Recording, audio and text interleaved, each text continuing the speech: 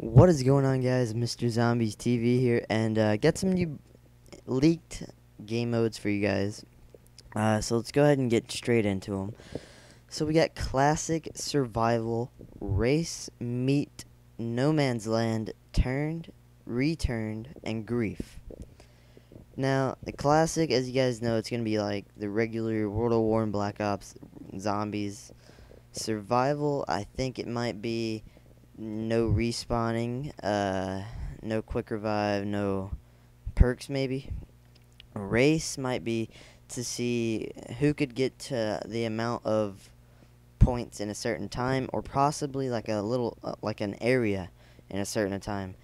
And meat, honestly, I have no idea what that would be. Uh, no Man's Land, as you guys know, it'd probably be probably be on a really small map. Probably probably Nuketown would be a No Man's Land.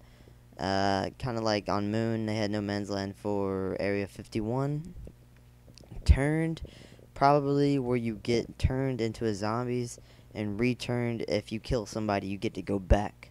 And Grief, you can probably like friendly fire or something. I mean, honestly, I don't think these are real, but I mean, it's kind of like a 50-50 for me. I kind of do, but I kind of don't. Meat the one that I have no idea what it is about.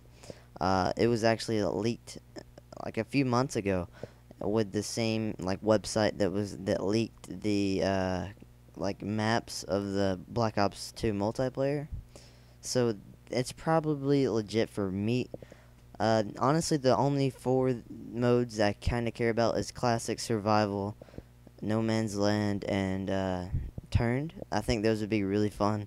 So, uh, if you guys have any favorites, like, tell me your favorites about this list of eight. I think it, all of these would actually be really fun to play. But uh, just tell me if you guys think it's real. I kind of don't, but then again, I do. Like, I want to believe it, but it just it just doesn't seem right having all all eight of these. But they actually might add them in like a DLC or something. So tell me what your favorites are in this list, and uh, I'll share you guys my favorites in the comments below.